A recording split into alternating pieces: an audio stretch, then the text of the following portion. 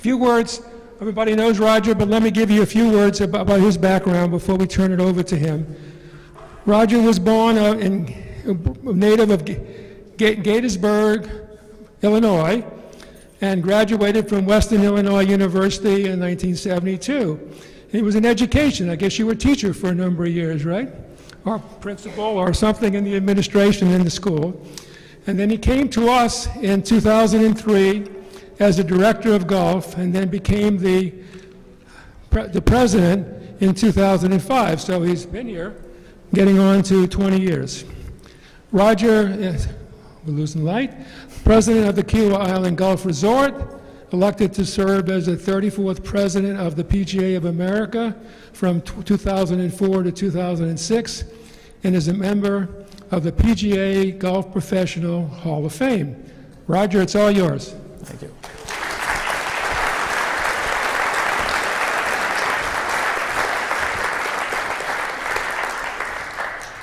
Can you all see me up here? Okay. I just want to start with that first. I am going to give you a vision test a little later up here to see if you can see the cursor. Don't worry, I don't even think you people up front will be able to see it, but that'll be the vision test. I want to th- thank um, the people with the uh, Our World presentation for, again, asking me to come here to make a presentation to all of you. I, I was thinking about it. I've done it before, but I don't think I've ever done it coming out of a period um, that has been so challenging for all of us. Um, and we've all experienced different kinds of challenges during this time, and uh, we've had to respond to it in, in our own ways. But I think that part of what I'm going to share with you today is what the challenges have been for the resort. I'm going to uh, try to follow this outline. Um, following this welcome, I'm going to talk about you know, what has transpired through this pandemic period to our business at the resort and what implications that has for now and in the future and, and the impact of the, uh, the resort on the island going forward. Um, I know that there's a lot of interest in what we have left to develop on the island.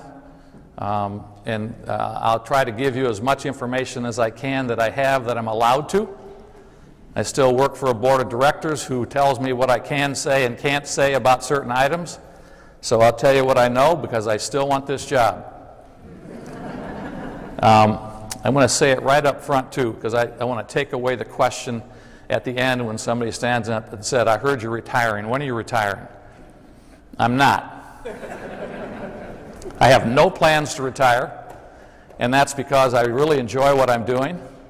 And I think you retire to do something that you don't, that you haven't been able to do while you're working.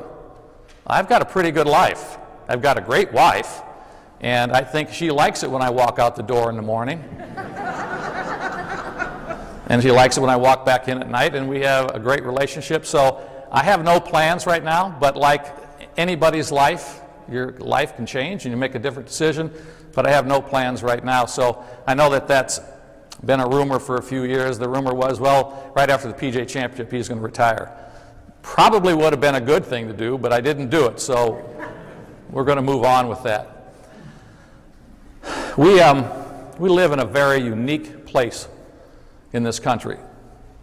I feel that I personally am blessed to be able to call this home because I think that there are very few places that I've been around the country that has the feel that you get when you pull onto this island. It's special. And it's not a mistake that it's special. There have been a lot of people over the history of this island who've worked very hard to create an experience that all of us who come later have a responsibility, I believe, to foster it as it is and to make it better as we go forward. So that's the role I think that the resort plays here on the island. This is a resort island. It was designed to be a resort island. We are the only major commercial entity in the town of Kiawah Island, on the island. And we understand that, and we accept and respect the role that we have to play to make sure that it maintains the status that it has, the feeling that it has, the experience that it provides. We're successful as a business because we make a promise in our advertising, in our marketing, in our day to day exposure with our guests. We make a promise that we're going to deliver an exceptional experience to the people who come here. Now, for that, we get to charge an exorbitant amount. and the minute that we don't deliver on that, then we'll get challenged on it. And we do get challenged on it periodically. And many times, uh, you know, if, if we're the problem, we'll fix it. And if we're not, we'll still smile and try to figure out a way to make people feel better. We're not in the business of um, dealing with people in a way that isn't a positive way, frankly. That's what we train our staff to do. That's what they work hard to do. We supervise them, we pay them to do that, and we're blessed to have a great staff. I'm going to talk about them in just a second. And so we're also very protective of our staff. We want to make sure that in their relationships with guests, that guests who choose to um, belittle or criticize verbally or be objectionable to our staff, we won't tolerate it. They need to know that we have their back. They need to know that we respect what they're doing and we know their intention. We know that they're not perfect and we know we can resolve any conflict if people will talk about it rather than yelling about it. So that's our goal, that's our philosophy, and that's how we try to work through day to day with our business. How many of you have only been here for the last five years? How many have been here for 20 years? Yeah, yeah, me too. Okay. So we've seen a lot together. Those of you who've been here, you know, in the last five years, as we've seen a lot of transition on the island, we've seen a lot of homes sale in the last year and a half to two years. We've seen a lot of new people come in.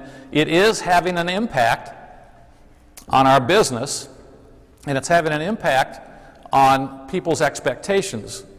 We're working hard to let new people who come in understand what we do and how we do it. And we think that's important. And um, so some of what we're going to talk about, some of what I'm going to show, some of you have probably seen it before, but I want to make sure everybody that's here that may not gets to see um, what the resort has done over the past eight to ten years. You all know that we are, the resort is owned by a family. It's a private family owned business. The Goodwin family out of Richmond, Virginia. The patriarch of the family is Bill Goodwin William Goodwin the Jr., and he and his family sit on the board with a couple of independent directors with them. And they have a generational commitment to this resort. They have a number of holdings, they have a number of operating companies. They continually reinforce that this is a company and an operating entity that they have that they intend to stay in through the next generations that come through the family. And as they prepare for that generational transfer of power, the next generation takes over the leadership of the board, takes over the leadership of the companies. All of that they're going through right now. And um, they're doing a great, great job of it. It's taken a little more time, but any of you who've been involved with those kinds of companies and family companies and that generational change, more of them fail at it than do it successfully.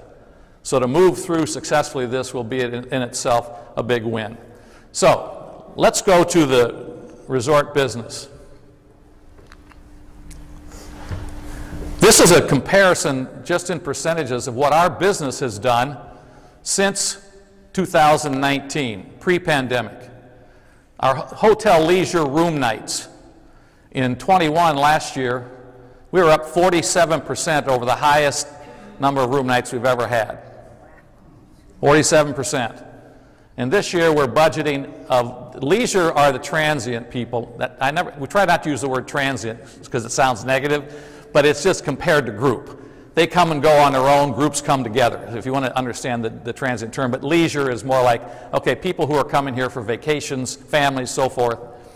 So in 2022, that's dropping to a 21% gain, but you'll see that um, the group business is starting to come back. we had basically no group business in 20 when we, uh, one of the saddest days of my life was April 4th of 2020 when I had to lay off 100, uh, 1,100 people from their jobs. Now we, to the, the family's credit and the business credit, we made sure that everybody was whole, giving them all of their um, vacation pay, their sick pay, um, doing, carried them on our medical insurance from the time they were off as they were able to get uh, the uh, unemployment that was offered by the federal government. We did not take PPP funds. Our ownership did not feel that it was appropriate for a private entity, as successful as we were, to use those PPP funds that somebody else who would need it more should get it, so we didn't take it. So our business this year, the group business is coming back. We had budgeted about 22,000 group rooms in the sanctuary. The numbers probably won't mean anything to you, but we've already got 31,000 on the books for the year in April. So we've had great growth in group rooms. But because we have more of those group rooms in the rooms, we'll have room for fewer leisure rooms. And so um, the upside to that is that by the laws of supply and demand and yield, our prices go up for those rooms. So that's a, that's a good thing from my perspective. Maybe not to everybody who wants a room, but it's a good thing. Um, villa and home um, transient rooms. We're up 44% uh, in 21, and we'll only be up 35% compared to 19 this year because one of the things that's transpired in the um, what we call short-term rental program, our villa program is a program that we manage. We manage homes and villas for people who want to put rentals in there. Um, three years ago, we had about 510 units on our program. Now we've got about 410. We've lost 100 units because people who were buying those units, many of them either want to live there year round, don't want to rent it, or they've decided to rent it themselves or go to other rental agencies. They'll be back, but we'll have to wait for them to figure that out. Um, and so that's why that, uh, that number is lower. Let's talk about the Governor's Club. How many of you are Governor's Club members? Wow. Thank you for being Governor's Club members. Um, we had a 45% increase 44% increase in Governor's Club members in 2021 last year. We ended the year with, um, well, we have 200 people waiting on a waiting list to get in for golf, the golf memberships. We went to a waiting list last year in March. We went to that waiting list because we couldn't, in good conscience, continue to take members in when we knew we had difficulty getting everybody the opportunity to play golf rounds. And so we thought it was better up front to say, no, you're going to go on a waiting list. And I can tell you, in that time frame between now and last year, we've gotten 220 some people off the waiting list into memberships into the, organiza- into the Governor's Club. But we still have 200 on the waiting list. Um, we believe we've created space for Governor's Club rounds this year. I'll, I'll give you a number, and it won't mean anything to you well, it might when I tell you this, that in 2019, I think we played 143,000 golf rounds on all five courses. In 2021, we played 208,000 rounds. That's averaging 50,000 rounds, I mean, 40,000 rounds per golf course. That's a huge number. Um, so, of those 200 some thousand rounds last year, and this may be more information than you want, but if you remember coming out of 2008 and 2009, the golf industry and the resort industry was down, way down. And everybody had to try to work to get people to come back to their golf courses. So you created playing opportunities um, for groups, groups that are tournaments, um, fundraisers, things like that, trying to get people to come in. Well, we looked at our plate, our golf round mix last year, toward the end of the year as we were getting ready to do the budget for this year. And we knew that we had about 15,000 rounds out of the 208,000 last year that fell into that category. Junior tournaments, college tournaments, uh, fundraising tournaments, a lot, there are about 15,000 rounds. So we decided not to re-up for those rounds this year, creating a 15,000 round hole that we were looking to fill with um, Governor's Club rounds if we get them. Now, it isn't going to change the dynamic. We changed one other dynamic for the Governor's Club. In prior years, you could only make a reservation seven days in advance. We've now made the reservations 14 days in advance. Um, so I know that there have been comments that Governor's Club members can't get tee times. Well, right now, at the end of April, you can't get a tee time. But it's been that way in April for the last 10 or 15 years, the last two weeks. It is the season for our golf resort and golf rounds and golf groups. They're the people paying the freight.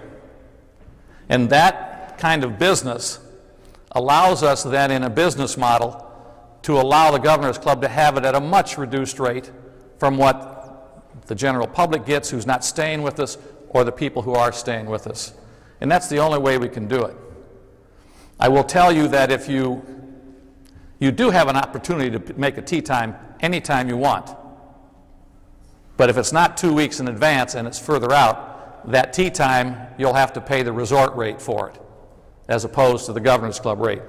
But you can do it. That's just a choice you have to make.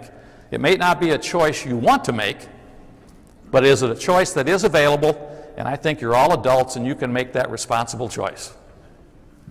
Now, I'm saying that with a smile. I'm not trying to be a smartass. Okay? So, we're very proud to have the Governor's Club, and also, um, obviously, if you want to join the Governor's Club social part of it, we have not stopped social memberships. Anybody can get a social membership, which allows you to have access to social events.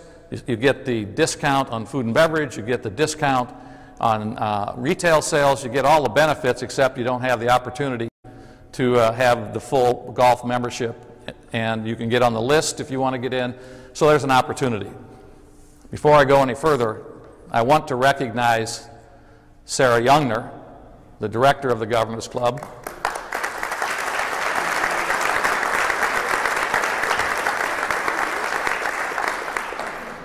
I hired this woman when she was a younger woman who was just the most energetic, hardworking, intelligent, thorough person, and she's only gotten better. And, um, I, you know, I'm blessed to be able to say that she's the director of the Governor's Club, and she's hired two wonderful women to join her in her office and uh, with Brooke.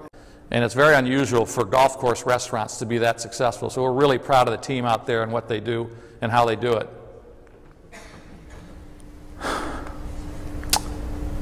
Um, the next is in 2021. Did I skip one? No. Next, uh, the, the cottages out at the ocean course. If you haven't seen them, you need to walk by and look at them. They, they're four cot excuse me, excuse me, four cottages. Stern designed them. They're four bedrooms, four baths, with a living room and a and a, a kitchen. That's the porches. These are right off the tee, right off the driving range tee. That's the uh, living room area. It's got four recliners. Yeah, we're guilty. We assume most of them will be men. Now, I'm sorry. We, we had a long discussion. Our interior designer was a woman, and she agreed, so I figured we were covered. But we do have a, a sofa. If you see that back wall there, that's a sofa with, with uh, footstools. Um, and this is looking the other way to the, uh, the counter in the, in the kitchen area. It doesn't have a stove, but it's got microwave and dishwasher and ice machine. It's where people who go on a golf trip want to collect together at the end of the day. We'll cater food into there to them. Um, we'll build a bar for them, whatever. We'll create an experience that they'll remember forever. And we're running about 75% occupancy on those in this first year that we've had since the uh, PGA Championship, which is really good. And this is the ups, one of the upstairs bedrooms. And between this bedroom and the one on the other side, there's a porch, an outdoor porch that you can go out and sit, see the ocean, hear the ocean. Um, so we've been very happy with the cottages. In 21, we also built a bike path and walking path from what is known as Pete Dye Drive, that road that runs up to the left. In red is the new bike path. What it did is it took pedestrians and people on bikes off of the road going into the clubhouse.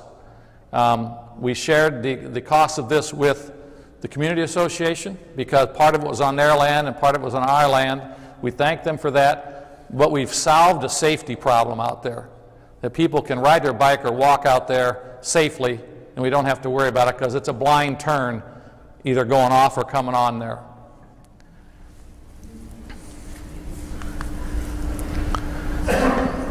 Upcoming projects that we have upcoming. Night Heron, we have a, the market and cafe. We're going to call it, rather than calling it the Night Heron Market, we're going to call it the Nest. We had a contest among our staff and said, give us suggestions. And the Nest in the park creates a warm gathering place. Yeah, I had that reaction too. but we're going with it for now. It's called the Nest. Um, and then we have a fitness center and uh, the Camp Kiawah area. And the um, in Night Heron Park, this is the site plan. You can see the market on the um, the larger market, and then next to it is the existing pavilion that's there that we've renovated. We've reno renovated, we added bathrooms and changing areas for the kids in Camp Kiawah. Um, we changed all, we repainted everything, we, we fixed the floor. We've created almost a new area for the kids for Camp Kiawah that they've really been enjoying already in there. And then on the back side of that pavilion is where we've built a new fitness area. Now, it's not big, but it's got everything I believe that you'd need. It'll be open to resort guests and Governor's Club. We're not going to man it initially. If you want to go work out there, Sarah's going to post a, a keypad code that you'll go there, punch in the keypad code, go in and work out, and leave. And please close the door. Um, and I'd say, probably without saying, please don't share this with people who aren't members. Yeah. Okay? This is a benefit to the members. We want to keep it that way, and we don't want it to be abused. This is kind of an aerial view. This is a rendering of the, uh, the nest there on the right. This is it under construction at this point. If you go over there, you'll see the construction. It's going to have a beautiful color uh, palette. It's going to sit beautifully in the site and blend with it with the trees and everything around it.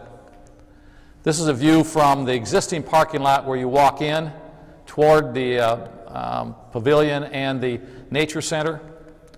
And this is it under construction. This is one picture of the um, fitness center. Those are the, we have the incumbents, we have the, uh, what are those? Um, Treadmills. I knew that's what it was. Thank you. And there's other equipment in there. Obviously, we have free weights, we have dumbbells, we have uh, machines, um, and all of it's got those huge windows around it, so you get a lot of light, and uh, it's really going to be a nice place if you want to work out. This is the interior of the, uh, the nest. Again, it'll be, um, you come up the counter, place your order, then you'll go back to the counter to pick it up and take it to your table. It won't be paper plates or anything. It's going to be a hard, harder plate. It's not breakable, but it'll be more su sustainable. The, you'll find out the best part of this building will be the porch. I think the porch is about 20 feet. So we're going to have tables up by the railing and tables on the backside. And you can sit out there, you look at the park. The setting is unbelievable. And in the area where you see the, the guy in the service window back there, there will, we'll be baking fresh bakery goods every day. And the smell there will be phenomenal. Our pastry chef for the Villa area is so excited about it. Have you ever been to, um, oh gosh, I'm going to lose the name of it. I'll come back to it. Sarah, what's that place on, uh, uh, not similar. Caviar and Bananas is one of them. That's close. the bakery one on uh, Folly Road. Bag, yes. Ma- ba- Baguette Magic, Baguette Magic. My wife took me there, and I said, "This is what I want it to be like." And so I went to our bake, uh, pastry chef, and I said, "Have you been there?" She said, "No." She said, "Went there," and she came back and says, "That's what we want it to be like." So we're going to steal from other people what they do. You know, good ideas are worth repeating. So that's what we're going to do, and we're looking forward to all of that. You really don't want to talk about this, so let me just. Look, I'm going to be straight. I, every time I've done this presentation, I said I'll never, I'll never lie to you. I'll never make stuff up. I'm going to tell you the truth. I don't have approval for anything at West Beach right now. And those of you who've been there have been working through it for, well, I started working it right after the PGA Championship in 12. And pushing and pushing and pushing. And we've gotten to different points in the process. And this is one thing about the ownership that um, is one of the best things about them, and for me, one of the most frustrating things about them is they don't need to do this. They're not looking to necessarily make a living off of this. This is what they're going to do. They're going to do it right. It's going to be a first class product and it's going to survive for a long time, and they want to make sure they get it right. So, I'm going to share with you some of the ideas that didn't make it. But the reason I'm going to show you that is I want to at least give you a sense of what the quality standards are, of what the, the what the, the conditions are and what we're trying to accomplish there. Some of these were um, decided not to do because the mass was too big. It took up the whole site, and it was, we we're worried about mass. We were worried about open space. We were worried about the impact on the. We're trying to create a village feel down there. And so the site isn't that big. So we're trying to get it right. So without further ado, this is West Beach. These are the parcels at West Beach that we own that are under. Now, the one over there with the tennis courts, that's no longer tennis courts, obviously. That's where this building is. But parcel 20 at the bottom is actually the dune field there that we own, and it's zoned for parks. So we can put pools and um, recreational activities. There's still a whole when I say the dune field, it's not the primary dune. There's still a lot of dune field left, but it's, it's an area that we can put pools and stuff, and we intend to do that. The rest of the parcel, uh, I can't even see it. Parcel 20 or 22AB, let's see. Okay.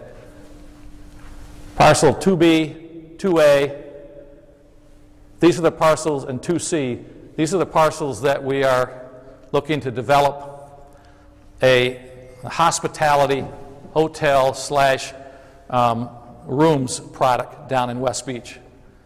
And um, this is what it looks like now. It's not attractive. We've tried to do some stuff around the outside fence. The fence right now, we've had a lot of windstorms. We're trying to get it put back up.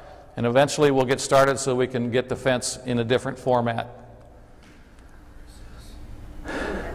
We're looking to, to create a kind of entry that will be traditional and um, Southern. Everything is about Southern traditional. And this was one idea to create whatever the front of the building is, that it looks like a house. And the other buildings are going to look like um, out parcels of the house. This is one of the ideas we started with. That concept is surviving right now as we look to design other things. This this, one of the other factors that we're doing, we want to create an axial relationship between the front door of the clubhouse at Cougar Point and the front door of this building so that you can walk out and walk across the street and have it set up so that you can get across. And it create um, uh, a column, not a colonnade, but a, um, a row of trees so that everything is treed there and it just feels like you're driving through this canopy of trees. This is kind of a simple uh, idea of the architecture. This is what Stern sees as the architectural style for the buildings down there. Um, big porches, um, and, and the, the same kind of style we've done here. This was a three, the other one was, a, this is a three wing hotel.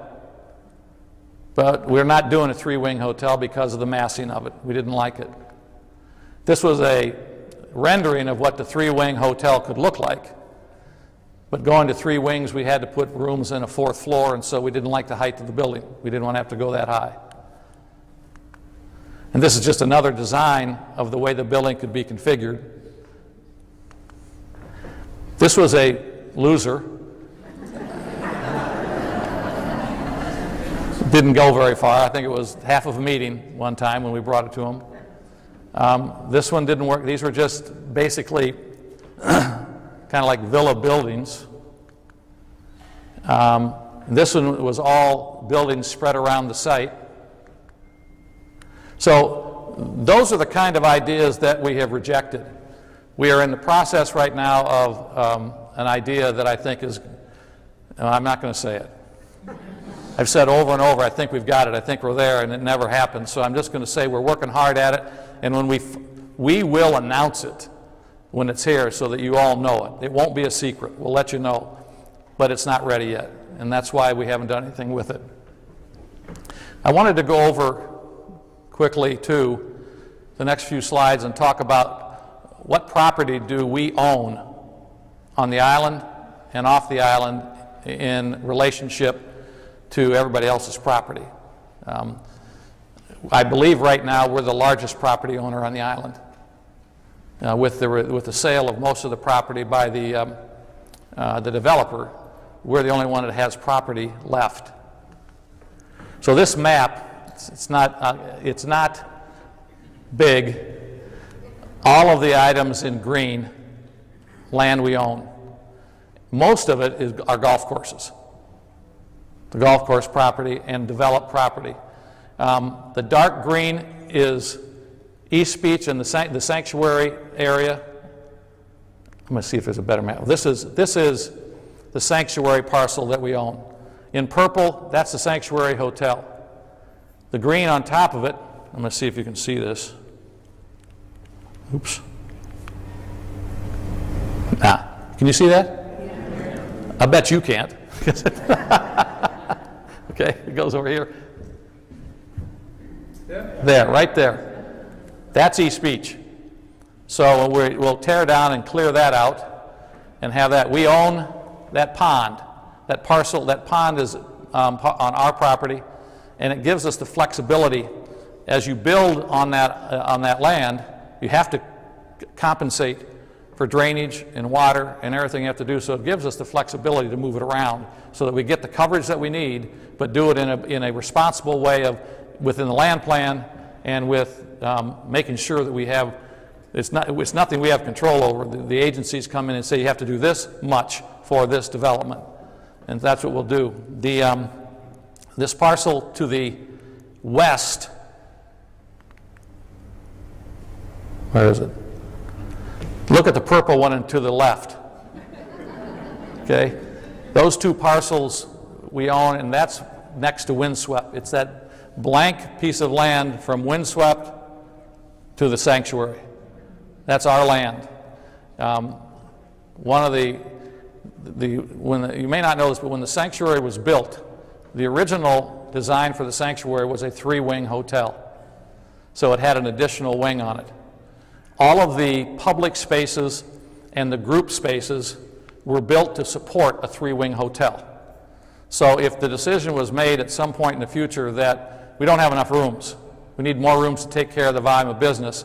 We can add that third wing without having to do anything with the uh, um, public space size or the group room size, so that opportunity exists. So that's at East Beach.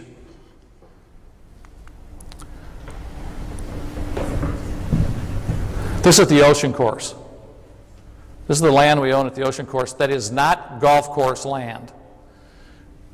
Parcel 12 up at the top over there, I would identify that as in this last tournament, the PGA Championship, that was where CBS compound was. We bought that parcel from the partners. It has development rights. I think we can put 22 single family homes there, something like that. But our intention is not to sell it, but to use it for future events, which we anticipate having. And because of the scope of these tournaments and the, kind, the amount of land they need to be able to execute the tournament, we can't afford to give up that land, and so that's going to, um, that'll remain there. Now, it's got a, a, um, a stone base right now, and we're going to go in and put uh, mulch over it so it, it softens the look up there and doesn't look like it's a parking lot sitting there. So we'll be, we have piled the mulch out there, and eventually we'll have it spread out. Um, the, the green area there is, um, allows up to 20 cottages, if we wanted to build 20 cottages there, or, or single-family homes. And then you have um, Willett Island that we own that has development rights also. I don't expect that in this generation or the next generation, the family to ever be developed as long as they own it, because again, the land is too valuable to the events we want to have there. So I see that as being something that won't go. And this land is what we own at Andell. Andell East and Andell West. Total is just under 500 acres. And um, we have some plans for that. And I know, well, I'm not going to, I'm teetering on whether or not to talk about the annexation stuff or not, and I don't know that that would be productive at this point, so I'm just going to leave it. We came to the town, no, I won't. We came to the town so you understand, we came to the town to, to talk about annexation because we were faced with we either get annexed and deal with the town's planning department and the community, or we go to the county. We're currently under the county authority. And we can go to the county right now and work through them with what planning we'd like to do for this. We, are, we came to the town for the simple reason that because of the history we have together, with all the development we just showed, and the fact that the family's been here, well, they'll celebrate their 30th year of owning property on Kiawah in 2023. They started in 1993 buying portions of it and finished the purchases in 1996, which includes almost all of these parcels that I just showed you. So we felt because of that relationship that we would sit down and say, these are what, this is what we want to do. Now, I- I'll, I'll grant you, the presentation that we made didn't offer anywhere close the detail we've talked about with the other projects we've done. And I think that that's a valid criticism. But there's kind of a chicken and egg thing here. You don't want to go into a process of really spending money planning unless you know that you're going to be able to do what you want to do when you get it annexed. So it's, it's a challenging thing. I'm making the case that we can go ahead and plan because one way or another we're going to do it, and if the town doesn't want to do it and they don't want to annex, we'll go to the county and we'll deal with them. So anything that would ever come back to the town right now in terms of wanting to talk about annexation would come back with much better developed planning so you can understand what it is. Um, an interesting thing about the county, I mentioned workforce housing. The, um, the county right now is giving developers an incentive that if they'll build workforce housing, they'll allow up, allow up to 18 units per acre to do workforce housing. That's basically apartments. And to do that, they'll allow that because they recognize and the people in this county understand that work, places for people who work in the jobs that we have for them are finding it difficult to get a place to live that they can afford. And so we have to find a way to deal, you know, businesses like ours, at some point we're going to be subsidizing housing to help them so that we can get the workers we need. So um, that's very appealing to look at that. We probably won't build or manage the apartments, but we'll get into, into a partnership with somebody who will, and we'll guarantee them the um, rooms. We'll guarantee them the renters because we'll have, but I don't think we'd be the only ones looking for it. I think the people at the club, I think the people at the town, I think the people at Seabrook, I think the people at Freshfields, they're all, their employees are all looking for a place to live that's closer to work and would help everybody. So one way or another, I believe this is going to get done. It all has capacity 220 uh, 2021 PGA Championship. How many of you were out there? Awesome. How many of you thought it was, eh, okay? How many thought it was really great? Yeah, me too. So, those of you who weren't there, this is more for you than, than them, but there were some unique things about the 21 PGA. Having been involved, obviously, for the last 30 some years with the PGA of America, I have had a lot of experience with events, championships, and all of that. And so I know I'm biased. This was the best one ever for a number of reasons. And I'll elucidate. Um, we did fewer people because, from a COVID standpoint, we couldn't make the commitment to sell it out because we didn't know what was going to happen with COVID and who could come and what the standards were going to be until about a month before, six weeks before. So we had about 50 to 60 percent of the normal number of spectators there. That turned out to be a blessing. It was a great experience for the people that were there. It made traffic easier to handle, plus the changes we made on the entry road with the left turn, the, the lanes, right turn lanes, left turn lanes, was, it was easier to manage. And so the whole thing worked. And I think that the PGA learned from it, and it's a, a model they'll follow in the future. Next time, they'll double the price of the tickets, but keep half, but keep half of the, uh, the number of people coming to make sure that financially, because part of the problem is they got to cover the purse. And the purse for the Masters this year was $20 million. The winner got $2.7 million as a purse. Our purse was 11. So by the next time it gets here, they got to find a way to pay for the purse. They may end up having a title sponsor. They've never wanted to do a title sponsor for the PGA, but it's very likely that they'll have to have a title sponsor to, to uh, infuse cash into it to cover the purse. I just want to give you some remembrance pictures. This is uh, practice rounds, and you can tell it's practice rounds because they're all in shorts. Out by the range. This is just a shot at night of the beautiful clubhouse and the guy mowing, rolling the greens. This is the uh, sky boxes on 17. This was the Dye Club as the sun was setting at the end of the day. No, wrong. It is the Dye Club, but it may be the sun coming up. I can't tell which side we're on. Okay. Did you say, Sarah? Sunset. Okay, there you go. The definitive answer. Um, this is looking up 18 from back by the uh, end of the hospitality area. This is an iconic picture. Phil Mickelson, just as he finishes putting, all the people out there, this will be the picture that will remind people of the 21 championship forever. And I'm glad they can't see that it's Phil.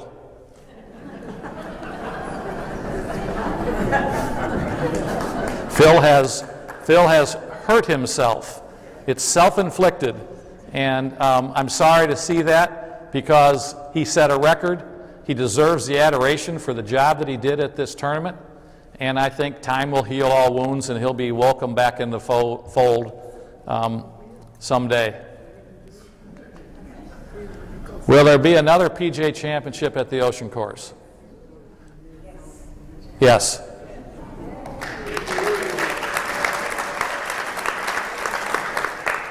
Now, the normal question would be when?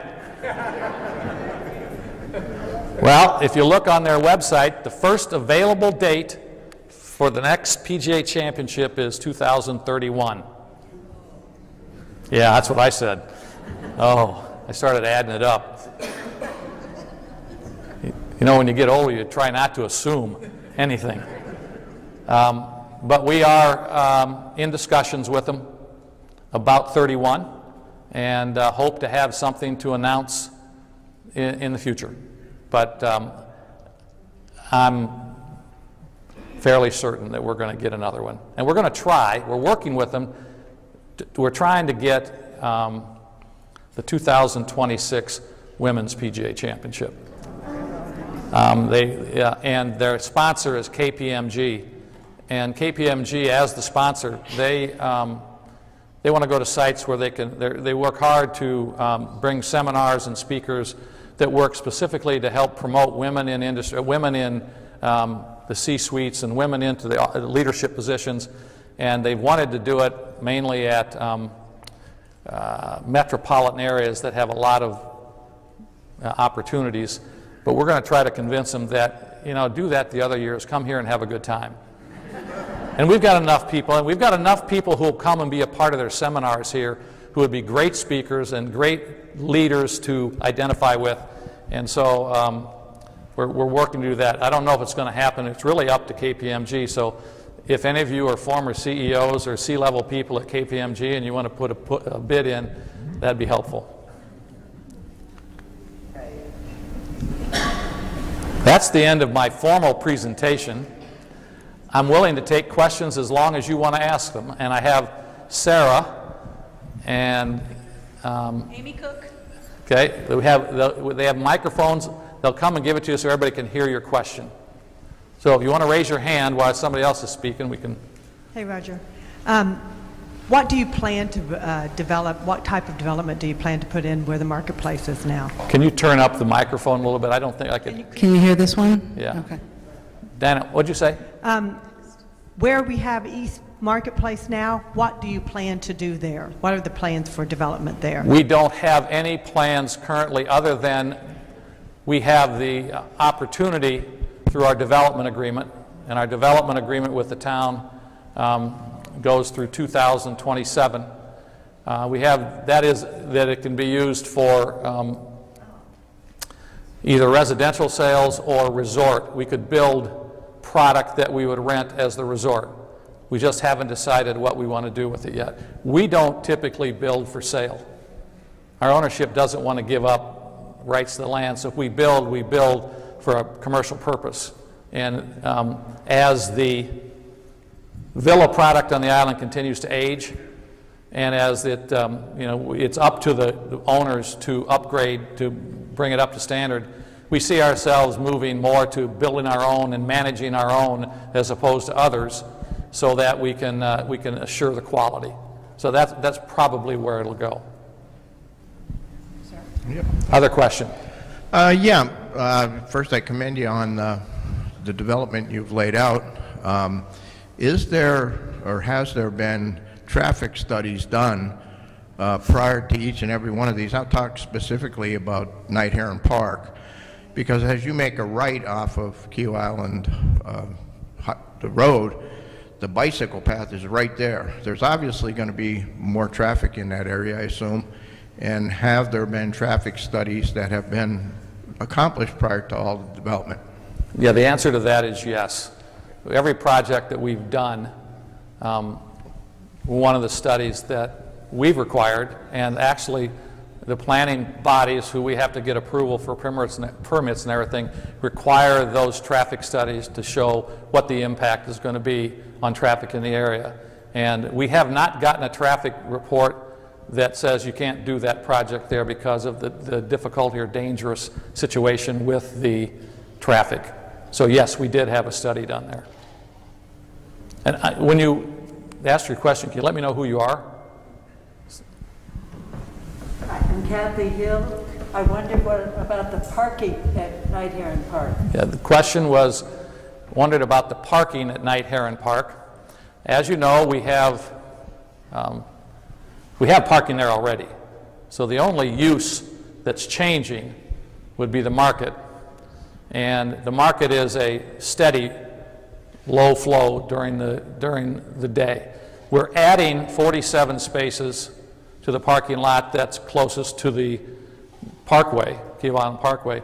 We're going to repave and add spark, parking spaces that are on the other side, on Seaforest side. So we're going to create better parking opportunities and uh, uh, more over there to accommodate the increased traffic. Yeah, we look, we get it. We know what the issue is. We know that people, hey, I, there's a lot of traffic on this island.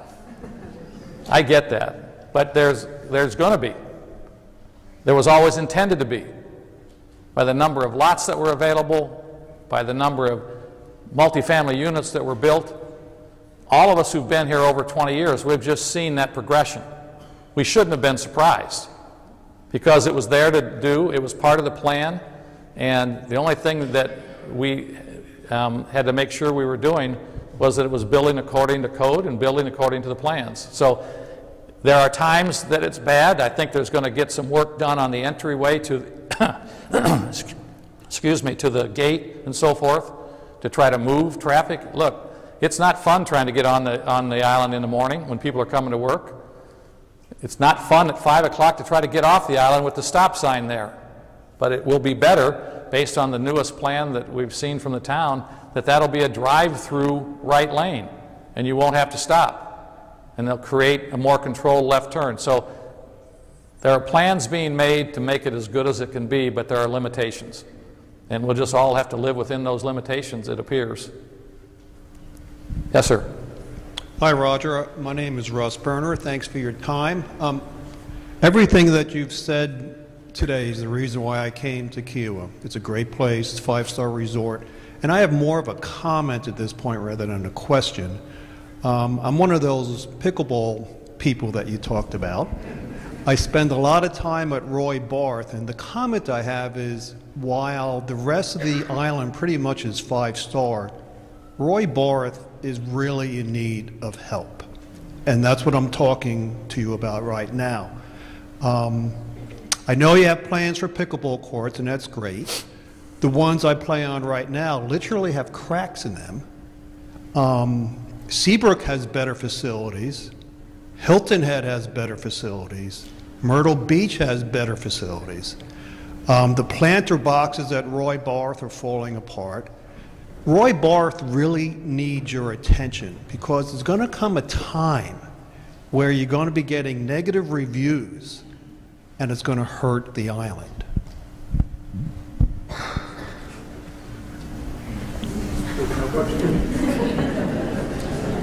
Any other questions? Yes?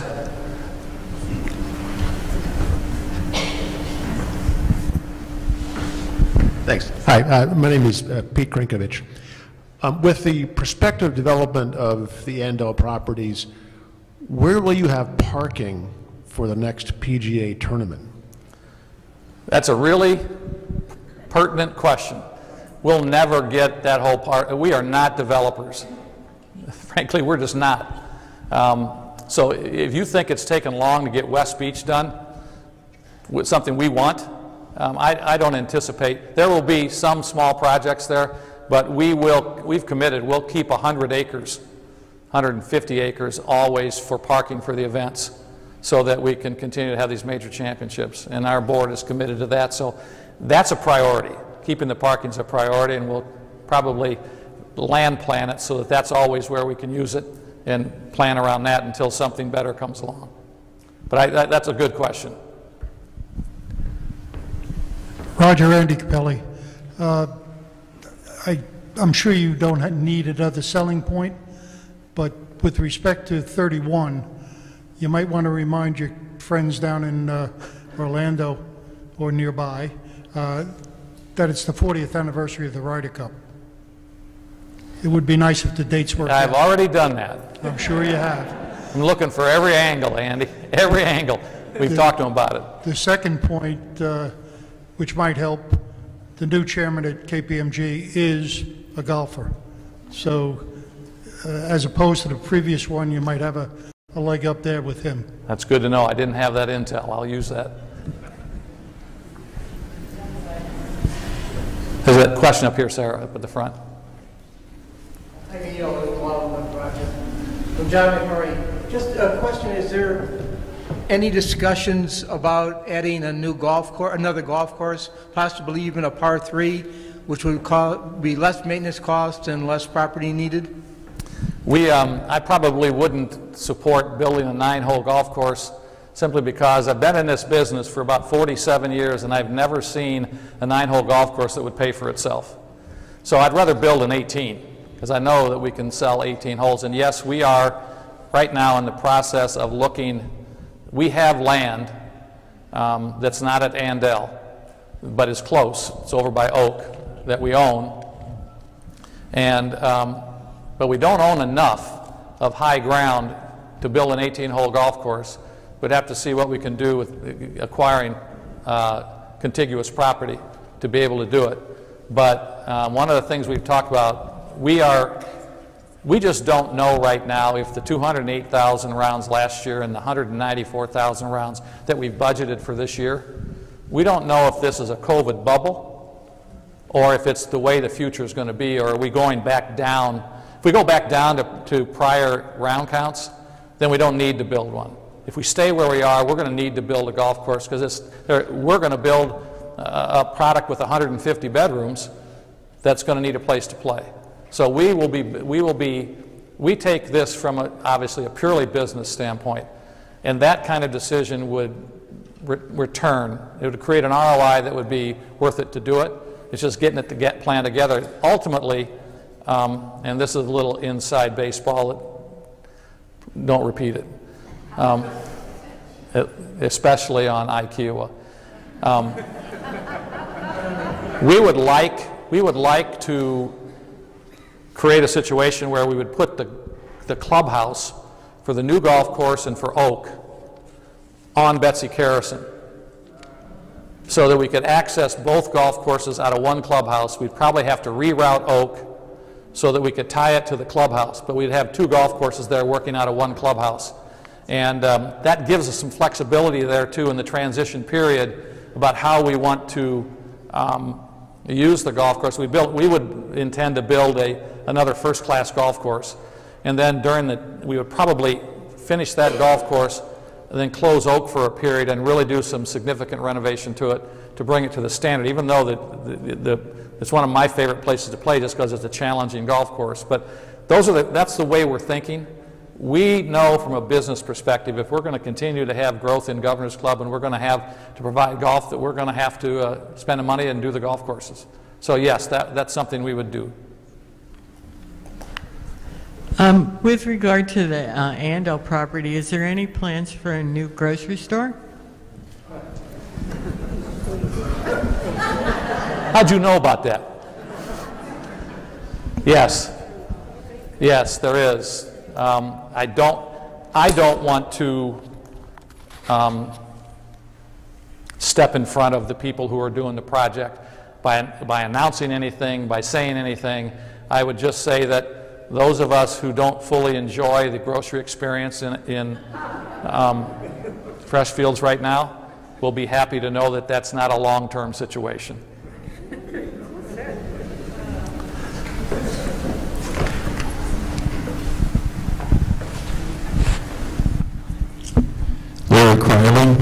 I'm a longtime Governor's Club member. Uh, the number of 200 on the waiting list is very large and alarming. And I know that when I look back at some of the previous directories, the Governor's Club directory, they were stapled together. Now we have to go out and have them bound because we have so many pages to it. My question is in a, a, a hope. I wonder if you have a plan for bringing those people into the Governor's Club. Is there a priority for people who live on the island or own property on the island rather than for outsiders who may live in Summerville or Hollywood or North Charleston. And if you look at the directory, there are several like that.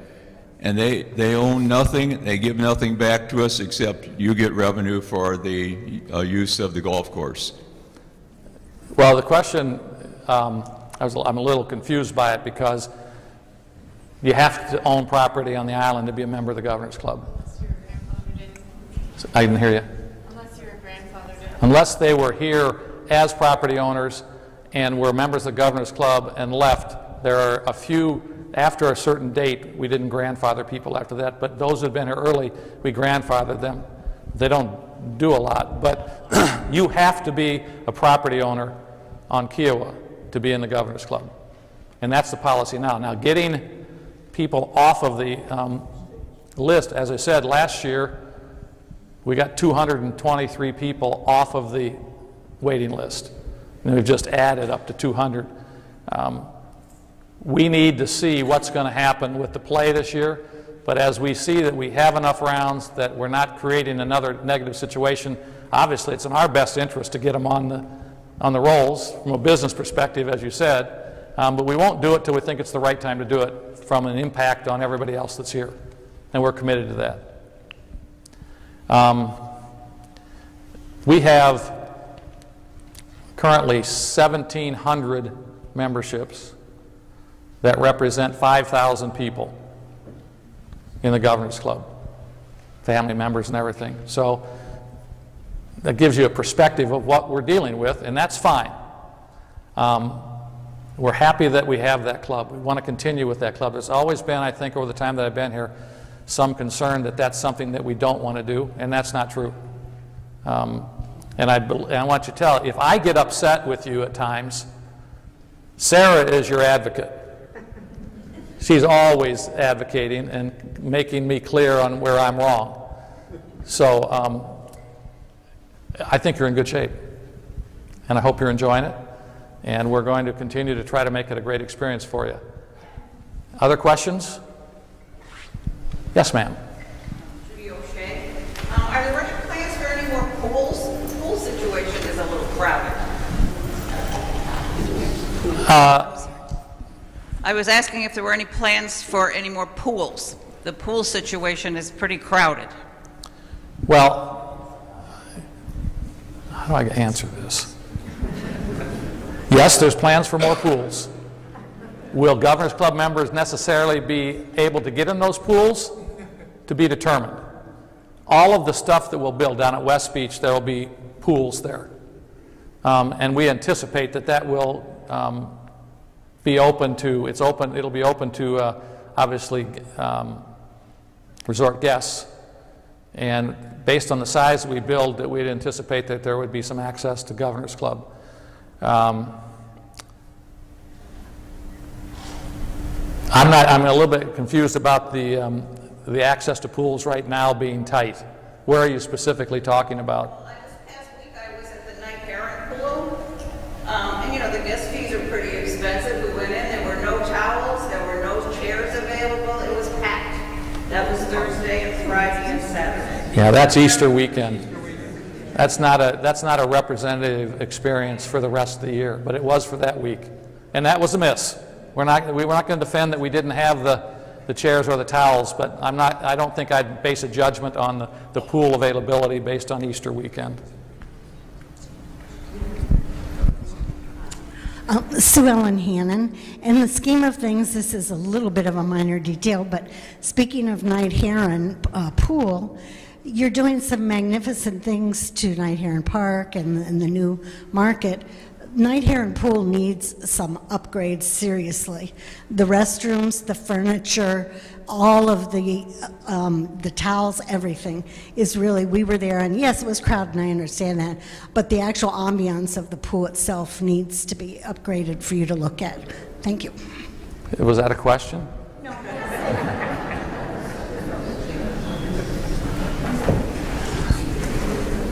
Anything else? Thank you for your time. Thank you. Oh, one more. One more. Sorry, one more. Two more. These are the last two. Diane Leader here. Um, Is it safe to assume that the resort has no plans to sell off any of its undeveloped parcels? That is a very, very safe assumption. Uh, There have been rumors floating around, and you've probably heard them, so thank you for that. Hadn't heard that one. No, we're not going to sell. Hey, I'm, I'm David Petron. I have two questions about food at the Nest. Number one, are you going to have pizza like you've had at the market? And number two, and this is very important to my wife, my wife comes down here, she looks forward to going to Night Heron Park and getting those cheddar cheese fries. And she was over there earlier this week, and there were no cheddar cheese fries on the menu, and she was very upset, and I had to hear about it. So I want to know if we're going to get the cheddar cheese fries back. Well, no, there's not going to be any pizza at the Nest, but there will be takeout pizza available at Turtle Point. We've created a pizza kitchen in there, and we're going to have takeout pizza at Turtle Point. And the cheese fries, uh, maybe. I'm not going to commit to something that somebody's going to tell me why it's not a good idea, so I'll say maybe. Thank you all. Have a good rest of your day.